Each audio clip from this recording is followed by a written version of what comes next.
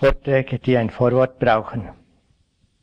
Ich möchte über die Motivation sprechen, die Absicht hinter unserer Praxis und auch den Beweggrund hinter all unserem Tun in unserem Leben. Und zwar über die altruistische Motivation. Und altruistisch heißt zum Wohle der anderen. Oder vielleicht besser zum Wohle vieler. Oder aller einschließlich unserer selbst. In manchen buddhistischen Traditionen spricht man von Bodhicitta, was sich als Erleuchtungsgeist übersetzen könnte. Es ist der Entschluss, vollständige Erleuchtung zu erlangen, um für möglichst viele von möglichst großem Nutzen sein zu können. Das Problem, oder eines der Probleme für uns hier, und deshalb das Vorwort, ist, dass es sich hier um eine sehr, sehr hohe Verwirklichung handelt. Es ist eine fantastische innere Haltung, Bodhicitta. Und deshalb liegt mir das Thema auch sehr am Herzen. Es hat fantastische heilende und befreiende Auswirkungen auf uns selber und andere. Und deshalb möchte ich gern darüber berichten. Aber es besteht gleichzeitig immer auch die Gefahr bei uns Europäern, bei uns Abendländern, dass wir daraus ein hohes, unerreichbares Ideal machen und uns dann daran messen, uns dann ungeeignet und völlig unzulänglich finden und weil sich das schlecht anfühlt, sich unzulänglich zu, zu, fühlen, dann kommt Abneigung auf und bald bleibt uns nichts anderes übrig, als die ganze Sache abzulehnen als übertrieben, unrealistisch oder irgendwie absurd. Und das wäre schade. Darum das Vorwort. ist nicht nötig. Geschrappten, von dem ich äh, die meisten dieser Lehren hatte, hat sich lange geweigert zu lehren, diese äh, Texte, weil er genau das befürchtet hatte. Es wird den außergewöhnlichen Wert verkennen und uns irgendwie innerlich dagegen wehren, weil es äh, äh over the top ist irgendwo.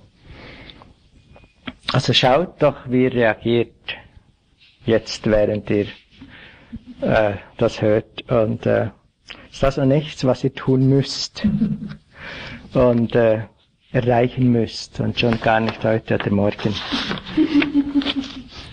Und vielleicht könnt ihr äh, diese inspirierenden Möglichkeiten einer völlig anderen Haltung sehen dann kommt's gut.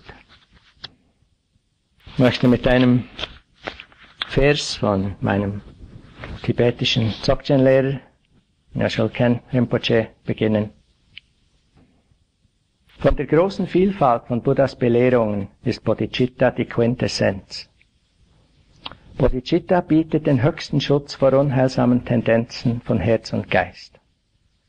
Bodhicitta wehrt das Leiden der schmerzvollen, niedrigen Lebensbereiche ab. Bodhicitta öffnet den höchsten Pfad der Befreiung. Seid unzerstreut, seid unzerstreut, übt euch in Bodhicitta. Täuscht euch nicht, täuscht euch nicht, übt euch in Bodhicitta. Irrt euch nicht, irrt euch nicht, übt euch in Bodhicitta. Gescherabten, mein erster tibetischer Lehrer, mit dem ich viele Jahre verbracht habe, sagte oft, der Erleuchtungsgeist Bodhicitta ist keine gewöhnliche Geisteshaltung, sondern eine Haltung der festen Entschlossenheit, Buddhaschaft zu verwirklichen, um die Bedürfnisse aller Lebewesen erfüllen zu können. Wenn diese Geisteshaltung ein oder zweimal in uns entstanden ist, reicht das noch nicht, um von Erleuchtungsgeist oder Bodhicitta sprechen zu können.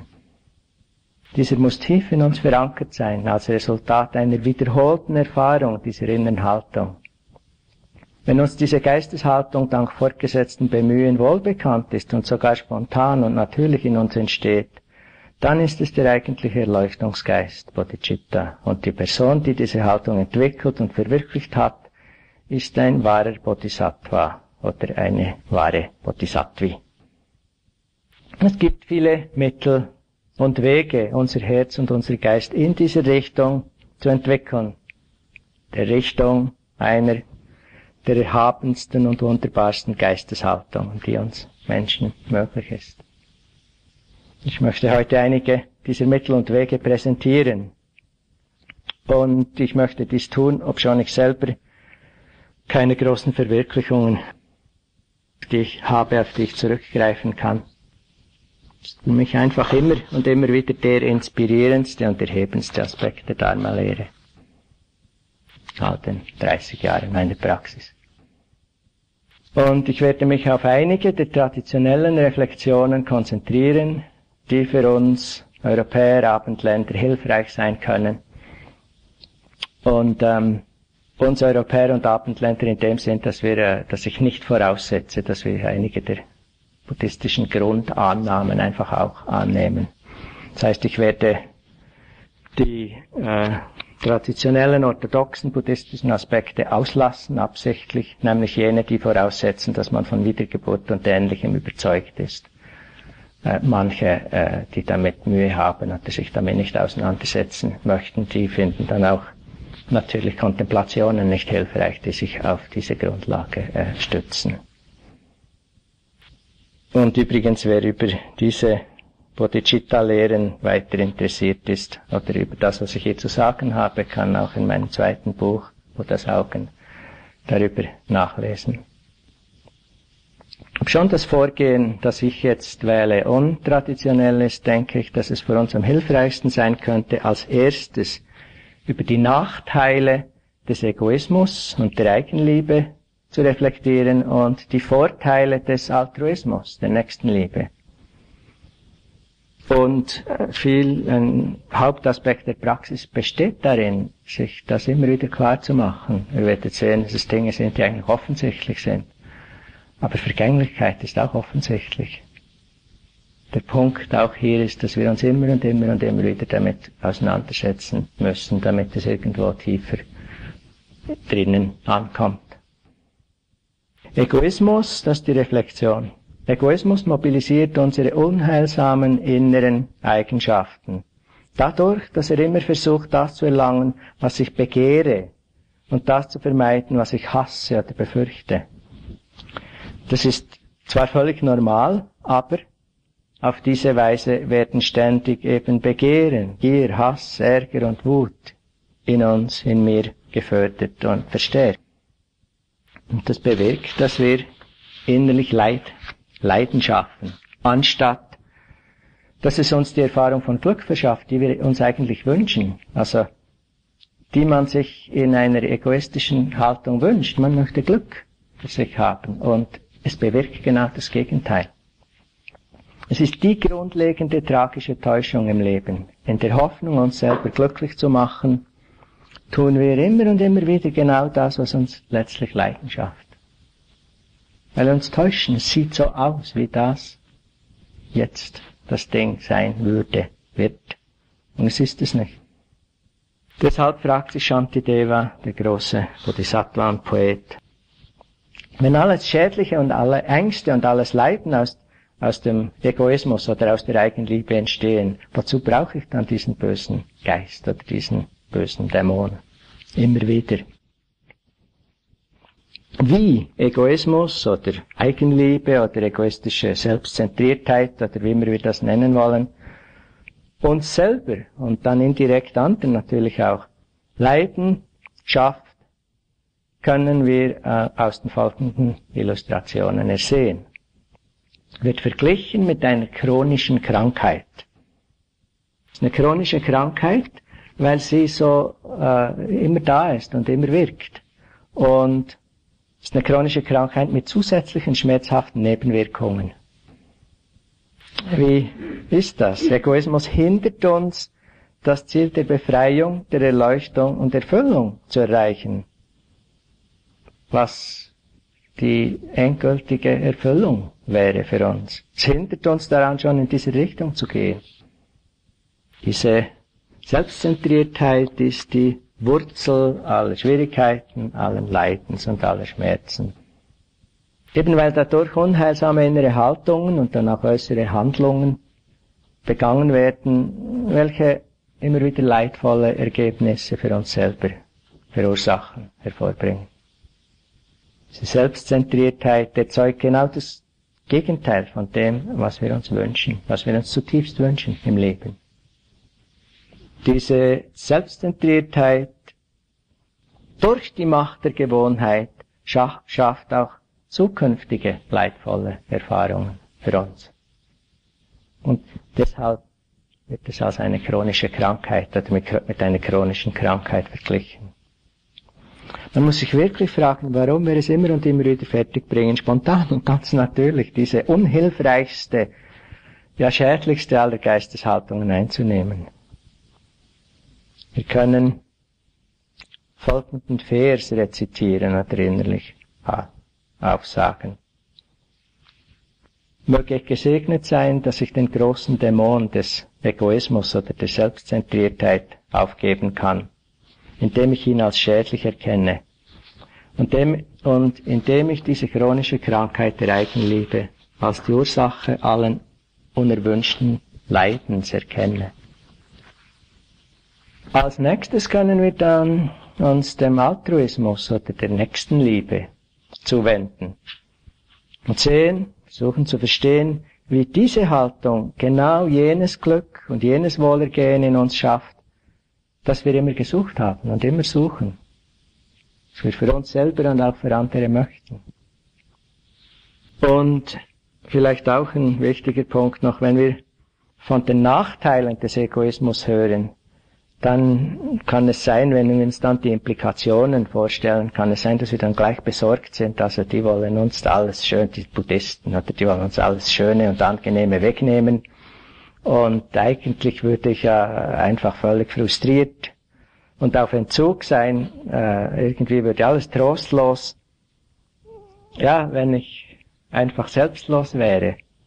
Und genau so ist es eben nicht. Genau das ist auch nicht gemeint. Genau das ist nicht der Fall.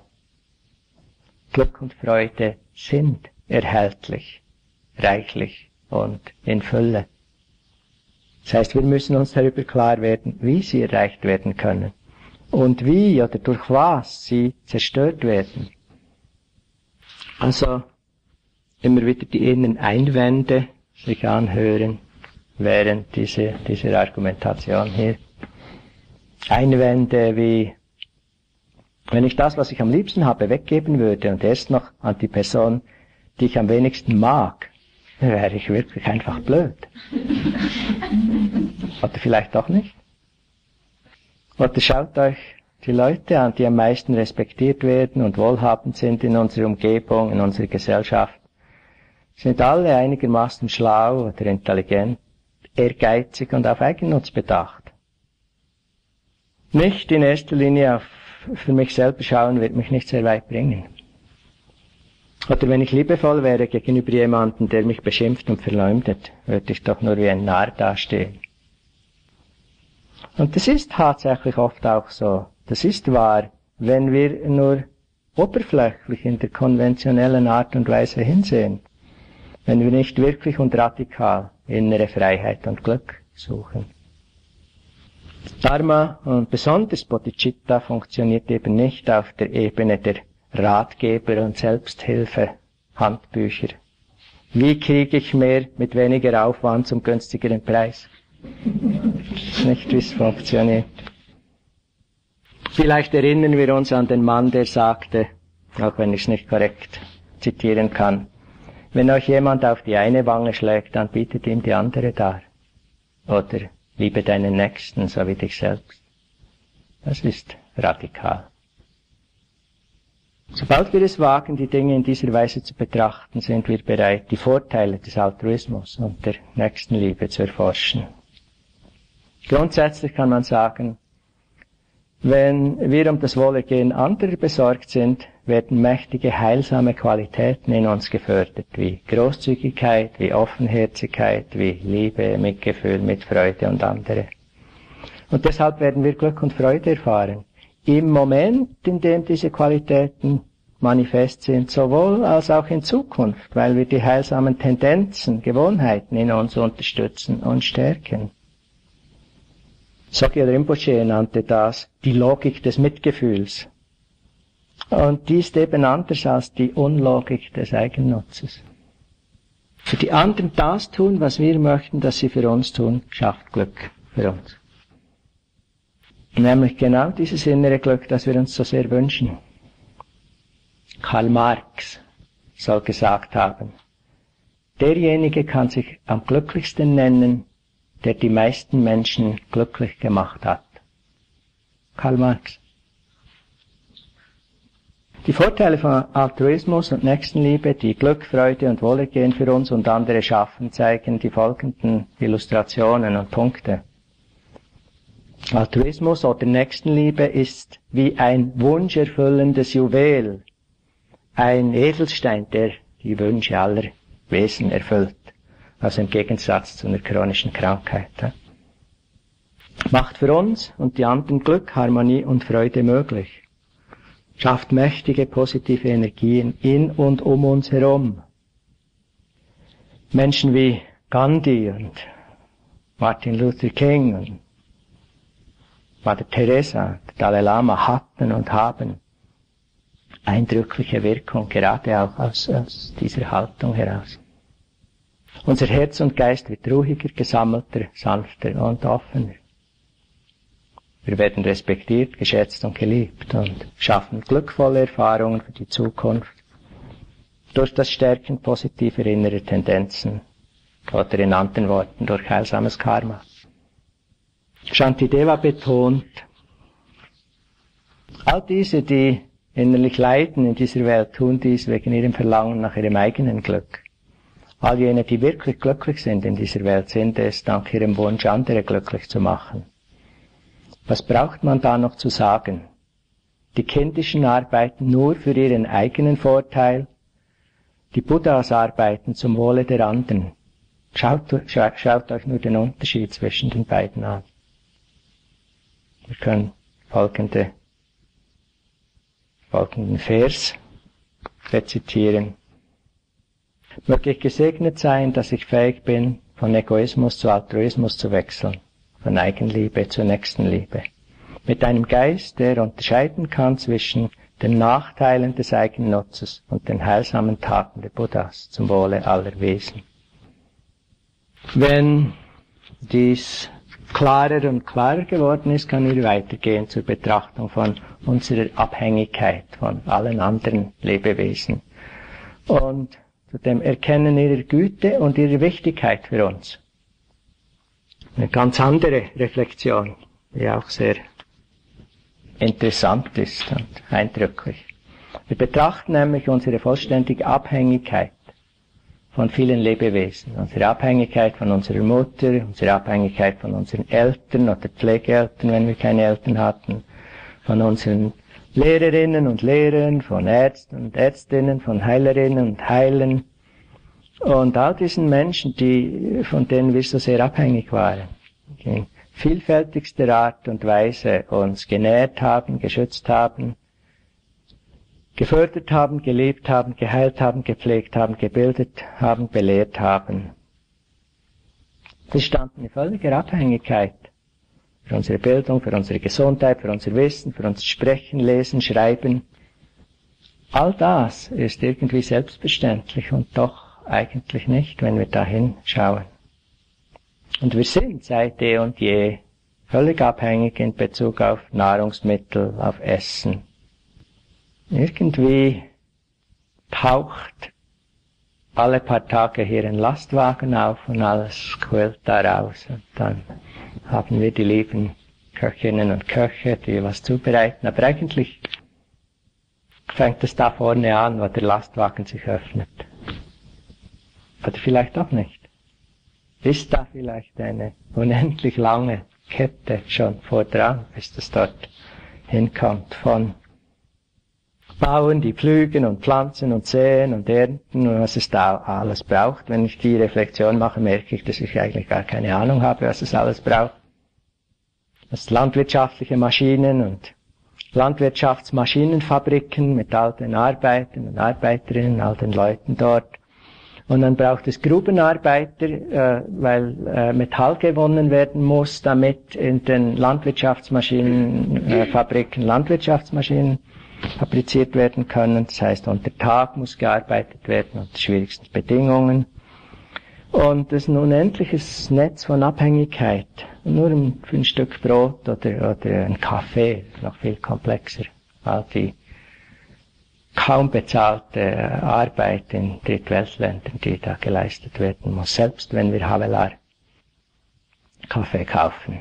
Ähm, aber auch ähm, abhängig für unsere Bekleidung von Baumwolle, Baumwollfarmen, Fabrikation von Baumwollstoffen oder synthetischen Textilien, das Färben, das Weben, das Design, das Zuschneiden, das Nähen, jede Menge Fabrikarbeit und oft auch wieder in Drittweltländern. Ähm, es ist immer erstaunlich, wenn man die Labels anschaut, wo das hergestellt wird. Und oft ist dort Kinderarbeit ganz äh, an der Tagesordnung, also Kinder, die bis zehn Stunden arbeiten im Tag.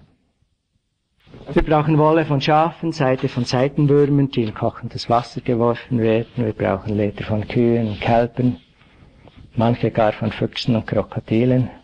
Überall zahllose Menschen und zahllose endlos viele Tiere tragen so ziemlich zu allem bei, was wir brauchen, besitzen, benötigen, früher, jetzt und in Zukunft. Was wir genießen wollen in diesem Leben. Nachher ist nicht, um uns schlechtes Gewissen zu machen, sondern einfach um zu sehen, wie es ist. Sie tun das durch ihre Arbeit, ihr Bemühen. Oft sogar kostet es ihr Leben. Und selbst mit der Tatsache, dass sie es ja auch meistens tun, um ihr Einkommen zu erarbeiten, oder weil sie gezwungen sind oder gezwungen werden, es zu tun, sind es trotzdem wir, die den Vorteil daraus ziehen. Vor allem gerade für uns Menschen aus der sogenannten ersten Welt, der westlichen Welt. Wir profitieren in so überwältigender Art und Weise von der Tatsache, dass zwei Drittel der Menschheit für ihr nacktes Überleben schuften und sich schinden muss, während wir doch ziemlich im Überfluss schwimmen. So geht es darum, ein Gefühl der großen Wertschätzung zu entwickeln für all diese Aspekte des Lebens, für all diese Lebewesen, die unser Dasein, unser Wohlergehen, auch unseren Wohlstand direkt oder indirekt möglich machen. Und statt diese Dinge als selbstverständlich zu nehmen, fangen wir an zu erwachen zu einem Gefühl von Wertschätzung und Dankbarkeit. Nicht zu einem Schuldgefühl, weil das würden wir nicht lange haben, dann würden wir es wieder verdrängen und nichts mehr darüber wissen wollen. Aber Wertschätzung. Diese Haltung schon an sich ist eine heilsame und glückliche Art zu sein, mit Wertschätzung und Dankbarkeit zu sein. Und wir beginnen zu fühlen, dass wir die Güte all dieser Lebewesen zurückzahlen möchten, irgendwie zurückvergüten, nicht gerade persönlich, das ist zu kompliziert, aber in vieler Art und Weise, die uns möglich ist. ist nicht, wie viel Nutzen habe ich von ihr oder ihm, wie viel muss ich jetzt zurückbezahlen. Eine viel natürlichere Haltung, die offen und großzügig ist. Verlangt Gewahrsein all der verschiedenen Situationen im Leben und verlangt recht viel Reflexion und Nachdenken, um unsere Perspektive auch wirklich ändern zu können. Das ist immer wieder sinnvoll, bedeutungsvoll, wichtig, dass wir es versuchen. Vielleicht können wir hier dem Punkt mit dem folgenden Vers abschließen. Möge ich gesegnet sein, mühelos Mitgefühl zu entwickeln, ähnlich der Güte einer Mutter für ihr einziges Kind, indem ich immer und immer wieder darüber nachdenke, wie alle die Lebewesen gut zu mir waren. Nachteil des Egoismus und der Vorteil der Nächstenliebe, dann unsere Abhängigkeit von anderen und ihre Güte und Wichtigkeit für uns zu anerkennen, zu sehen. Als nächstes können wir den Schritt tun, der Gleichheit zwischen uns und anderen und die zu sehen.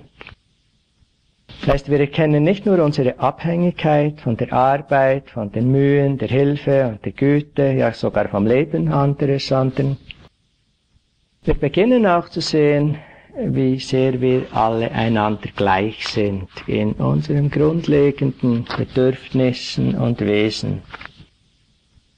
Deshalb sagt Shantideva, andere erfahren Freude und Leiden wie ich. Darum will ich sie beschützen, genau so, wie ich mich selber beschütze. Unsere Hände beschützen oder behandeln auch unsere Beine und Füße, wenn sie in Gefahr sind oder wenn sie schmerzen. Ob schon die Hände die Schmerzen der Füße nicht direkt fühlen. In gleicher Weise helfen und beschützen wir andere, obschon wir ihren Schmerz nicht direkt unmittelbar wahrnehmen und empfinden. Es ist ein und dasselbe Leben in beiden Fällen. Die Hände sind dasselbe Leben wie die Füße, wir sind dasselbe Leben wie die anderen. Deshalb stellt Shantideva die Frage, wenn Glück und Freude von mir und von anderen gleichermaßen geschätzt wird, was ist denn so besonders an mir, dass ich mich selber schütze und nicht die anderen? Gute Frage. Das ist einzig die uralte Gewohnheit der Eigenliebe, des Egoismus und das Nichtverstehen der Tatsache, dass diese Haltung uns selber schadet. Das ist das, was uns am meisten umstimmen würde, wenn wir das wirklich intus hätten. Shantideva kontrastiert diese Haltung mit jener der Bodhisattvas, mit denen, die sich wirklich um alle kümmern. Die Bodhisattvas erfahren ein überfließendes Meer von Freude, wenn die Lebewesen vom Leiden freikommen.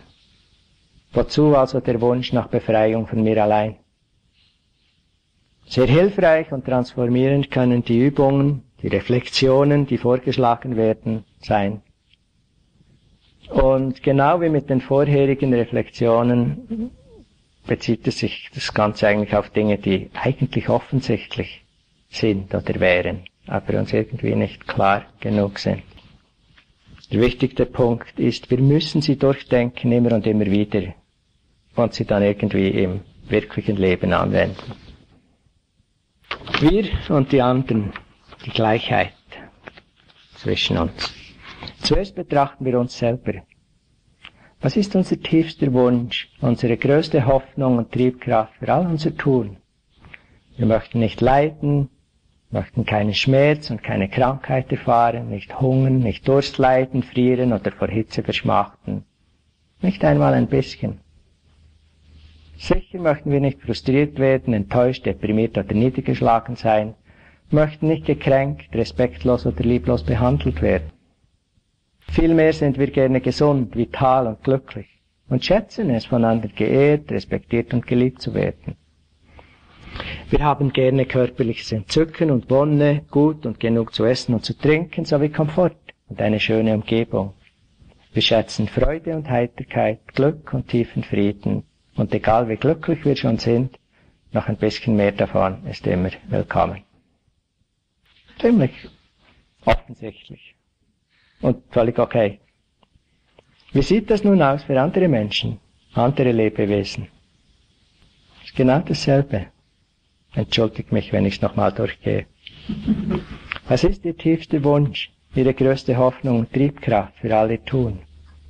Sie möchten nicht leiden, Sie möchten keinen Schmerz und keine Krankheit erfahren. Sie möchten nicht hungern, nicht Durst leiden, frieren oder vor Hitze verschmachten, nicht einmal ein bisschen. Sie möchten sich nicht, sie möchten nicht frustriert werden, enttäuscht, deprimiert oder niedergeschlagen sein und möchten nicht gekränkt, respektlos oder lieblos behandelt werden. Vielmehr sind sie gerne gesund, vital und glücklich und schätzen es, von anderen geehrt, respektiert und geliebt zu werden. Sie haben gerne körperliches Entzücken und Wonne, gut und genug zu essen und zu trinken, sowie Komfort und eine schöne Umgebung. Sie schätzen Freude und Heiterkeit, Glück und tiefen Frieden, und egal wie glücklich sie schon sind, noch ein bisschen mehr davon ist immer willkommen. All diese Punkte durchzudenken, ist nicht dasselbe, wie wenn wir einfach sagen, klar, wir wünschen uns alle dasselbe. Wissen wir ja schon. Ähnlich wie mit Egoismus und Altruismus, das wissen wir auch schon eigentlich. Die Reflexion macht es uns klar, damit, wenn die Situation da ist, die ist oft da, dass es dann zur Hand ist und wir nicht dann wieder keine Ahnung haben, wie das eigentlich jetzt war. Das ist auch die Schwierigkeit. Mit dem Loslassen. Das eigentlich klar, loslassen, wenn die Dinge vergehen oder schon vergangen sind. Außer, wenn es soweit ist. Was hier von großem Nutzen ist, in, auch in dieser Gleichheit, sind die Brahmavihara-Meditationen, die Meditationen von liebevoller Güte, von Mitgefühl, von Mitfreude und Gelassenheit. Wir verbinden uns mit in Liebe und Zuneigung, Metta, mit den Lebewesen. Und vor allem, ist auch ein wichtiger Aspekt, vor allem tun wir es mit den verschiedensten Arten von Lebewesen, wie wir das jetzt diese Tage hindurch getan haben. Das heißt, denen, die wir lieben, wo uns liebevolle Güte nahe liegt und selbstverständlich ist, zu denen, die uns gleichgültig sind, wo es schwieriger ist, zu denen, die wir schwierig und unangenehm finden. Von uns selber zu mehr, letztlich zu allen Lebewesen des Universums. Liebevolle Güte, mit Mitgefühl, mit Freude, Wertschätzung. So beginnen wir ein Gefühl des Einsseins oder der Verbundenheit vielleicht zu entwickeln.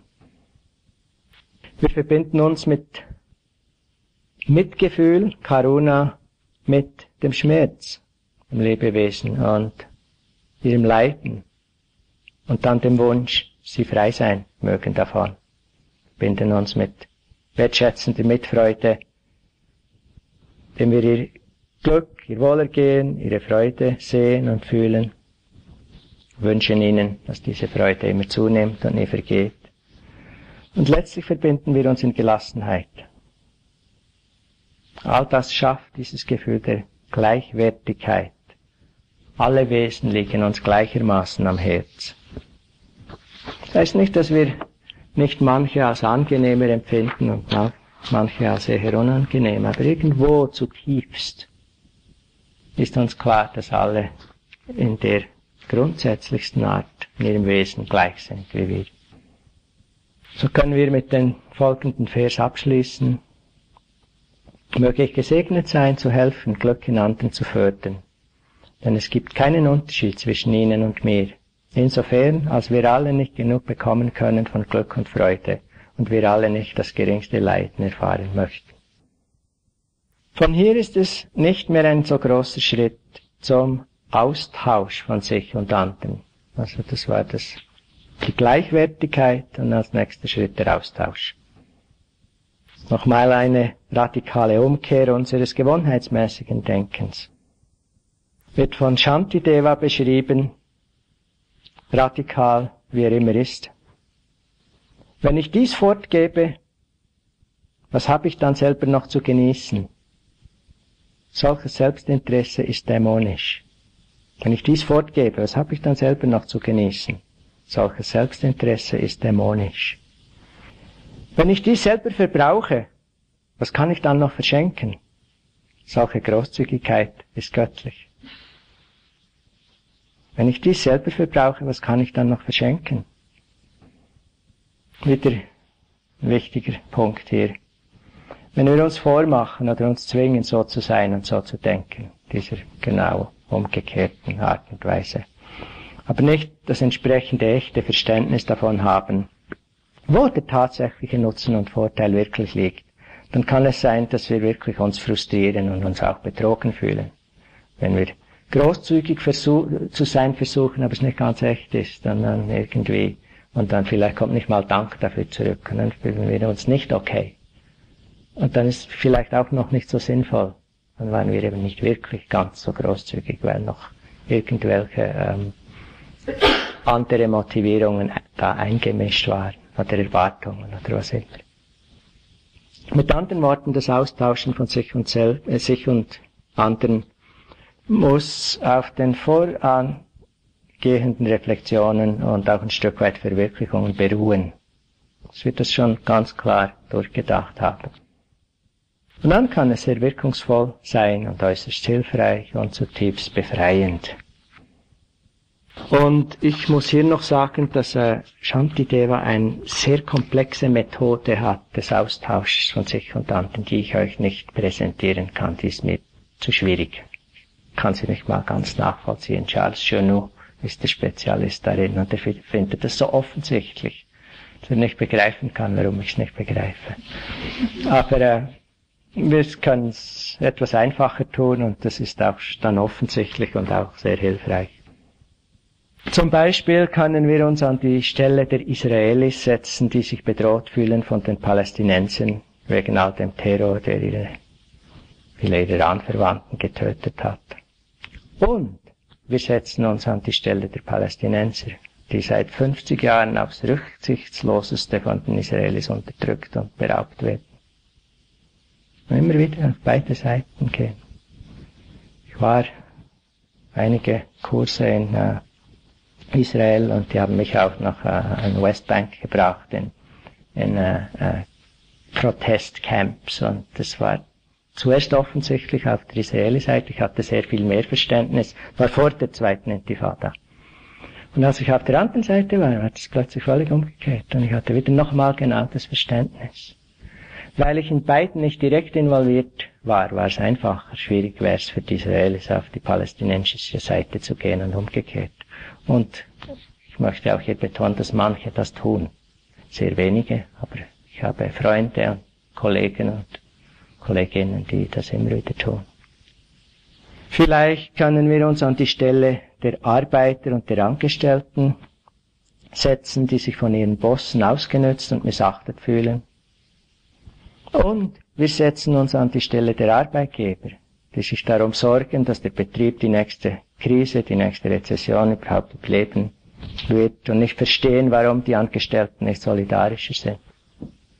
Immer auch wieder äh, interessant, beide Seiten zu sehen und zu versuchen, auf die andere Seite uns hineinzuleben für einen Moment, auf der anderen Seite, als, auf der wir selber uns befinden. Oder wir können uns an die Stelle der Schnecke setzen, die hart arbeitet, während sie sich auf unseren frischen Gartensalat zu bewegt. Das, ohne Beine, das ist schon, muss wahnsinnig mühsam sein, wahnsinnig langsam. Oder wir können uns an die Stelle der Mücke, der Moskito setzen, an unserem Arm, die nicht merkt, dass eine riesige Hand hier wartet, bevor wir dann vielleicht doch nicht zuschlagen. Man braucht sie ja nicht sein lassen, man kann immer noch sie wegblasen. Wenn wir sie nicht sein lassen wollen. Was keine Voraussetzung ist hier. Wir können uns an die Stelle unserer Partnerin, unserer Partner setzen, auf die wir gerade wütend sind, auf die wir vielleicht mit zornigen Worten einreden. Das ist schwierig. Muss man einen Moment innehalten und schauen, wie sich das anfühlt, wenn der so. der Schritt allein genügt eigentlich, bereit zu sein, einen Schritt zu machen. Der Rest, glaube ich, ergibt sich fast, wenn man schon nur so viel innehalten kann. Das ist ein gutes Übungsfeld. Kann ich aus eigener Erfahrung bestätigen. Wenn wir dieses Gefühl der Gleichheit und der Verbundenheit mit anderen entwickelt haben, durch die Anwendung der bisherigen Schritte, dann haben wir die scheinbare Trennlinie zwischen uns und anderen überschritten. Eine scheinbare Trennlinie, die doch so mächtig wirkt immer wieder. Zwar ist es eine Trennlinie, die entsteht durch unsere Eigenliebe und Mangel an Nächstenliebe, aber gleichzeitig entsteht sie eben auch durch unsere Täuschung in Bezug auf Selbstexistenz. Weil wir denken, ähm, wir sind nicht Teil des Lebens. Also wir denken das nicht, sondern weil das Gefühl so ist, wie ich bin hier und hier sind die anderen und irgendwie diese Getrenntheit entsteht durch das, das Erfassen, durch die getäuschte Wahrnehmung von selbst. Eben diese beiden Komponenten, die diesen Graben immer wieder äh, aufreißen.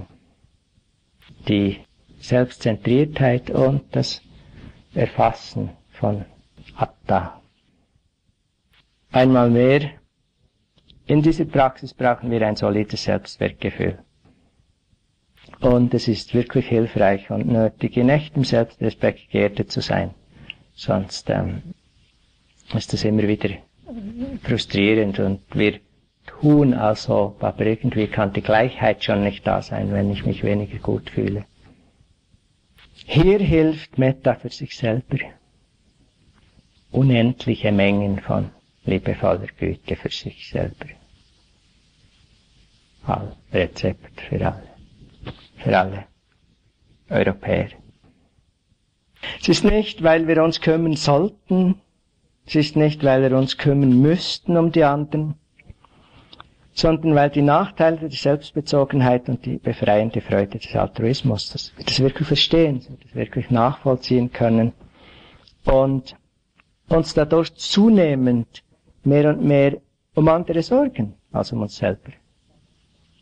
Und bei manchen Menschen fällt uns das auch leicht und bei anderen kommt es uns schon gar nicht in den Sinn, dass es auch eine Möglichkeit wäre.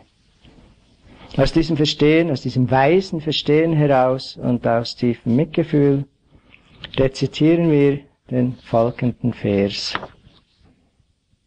Ich erkenne, dass Eigenliebe zu Leiden führt und dass es der Weg, die Art der Buddhas ist, andere mehr zu lieben als alles. Möge ich gesegnet sein, dass ich fähig bin, alles Leiden, alles unheilsame Karma und die Hemmnisse aller Lebewesen auf mich zu nehmen und ihnen all mein Glück und meine guten Qualitäten zu geben. Hier muss die diesbezügliche Erkenntnis und das Mitgefühl echt und tief sein, sonst stimmt das nicht, dieser Vers. Es ist dieser Wunsch, der uns zur Praxis von Tonglen, von Nehmen und Geben, tibetische Wort heißt Nehmen und Geben, führt. Zu der Meditationsübung, in der wir uns darin üben, das Leiden anderer auf uns zu nehmen und ihnen unser Glück zu geben. Das ist eines der Juwelen unter den vielen Meditationen in der tibetischen Tradition. Ich werde es nur kurz beschreiben. Manchen von euch ist es bekannt. Wir freuen uns immer wieder, dass wir einmal im Jahr einen Tonglen-Kurs mit Gesche anbieten können hier. Es ist in Verbindung mit dem Atem, mit dem Einatmen, dass man sich vorstellt, das Leiden der Wesen auf sich zu nehmen und mit dem Ausatmen ihnen sein eigenes Glück und seine Freude einatmen als, als Leiden wegnehmen, ausatmen. Unser eigenes Glück und Wohlergehen verschenken. Um einiges anders, auch ein bisschen komplexer als äh, die Metta-Meditation, die wir hier üben, sehr viel darüber zu sagen, aber ich denke, es würde den Rahmen jetzt sprengen. Nehmen und geben wird sehr viel und überall empfohlen und praktiziert in der tibetischen Tradition. Und die Idee ist, dass wir es dann, wenn wir es immer wieder üben, äh, visualisieren, dass es uns geläufiger wird, dass es uns schneller in den Sinn kommt und dass wir mehr die Gewohnheit in uns entwickeln als die umgekehrte. Was nun in einem entsteht, während man mit dieser Praxis, diesem Training fortfährt, wird langsam oder so etwas wie der besondere Wunsch genannt. Man sieht, dass all diese großartigen Reflexionen und Meditationen, auch Metta, auch Mitgefühl, auch Tonglen, Nehmen und Geben, eine enorm transformierende Wirkung auf einem selber haben kann, wenn man sie wirklich übt und viel übt. Dass sie aber die anderen nicht von ihrem, nicht wirklich von ihrem Leiden zu befreien vermögen. Egal wie lange wir jemanden Metta schicken, wir werden nicht einfach glücklich. Gleichzeitig ist es für die Entwicklung unserer eigenen Fähigkeit, liebevoll zu handeln und zu denken, außerordentlich transformierend. So erkennen wir, dass wir, um von größtem Nutzen für andere zu sein, wir die optimale Verwirklichung brauchen, die eines Buddhas, die einer vollständig Erleuchteten, wie vielleicht Tara. Diese Einsicht, wenn sie wirklich tief ist, nicht nur gedanklich, sondern tief empfunden, wird der besondere Wunsch oder Laksam genannt. Aus diesem Wunsch heraus wird Bodhicitta geboren. Das ist der nächste und letzte Schritt hier. Bodhicitta heißt, möge ich die vollständige Erleuchtung eines Buddha verwirklichen, um für alle Lebewesen von größtem Nutzen zu sein ist auch auf diesem Blatt und Widmung, das drauf ist. Ist diese tiefe Verschiebung der Innenhaltung und dieser letztlich unerschütterliche Entschluss, welcher alle Handlungen motiviert, den Bodhicitta, der Erleuchtungsgeist nennt. Das ist, was wirklich gemeint ist mit dieser Motivation eines Bodhisattva oder einer Bodhisattva ist nicht, dass man sich so nennt, Nämlich was die Mahayana-Haltung ausmacht. Aber eigentlich erst, wenn sie tatsächlich zumindest ein gutes Stück weit verwirklicht wird. Und dann ist es auch egal, zu welcher Tradition oder welcher Religion oder zu keiner Religion man gehört. Die Haltung ist letztlich, um was es geht und nicht, wie wir uns nennen oder was wir von uns denken. Ob schon Bodhicitta dem Mitgefühl entspringt, ob schon Mitgefühl seine Lebenskraft ist, ist es viel radikaler als Mitgefühl im üblichen Sinne. Es ist vielleicht, könnte man sagen, die letztliche Konsequenz des, Konsequenz des Mitgefühls. Shantideva sagt über Bodhicitta, dies ist die unübertreffliche Medizin, die Kur des Leidens der Welt. Es ist der Baum, der Obdach bietet für alle erschöpften Wesen, taumelnd auf den Pfaden des bedingten Seins. Es ist ein außerordentliches Juwel von Herz und Geist und seine Geburt, sein Entstehen ist ein einzigartiges Wunder. Und aus dieser Motivation heraus entsteht der Wunsch oder der Entschluss der Bodhisattvas. Und das ist ein Vers, der in vielen Zen-Schulen und Traditionen immer und immer wieder rezitiert wird. Die Lebewesen sind zahllos.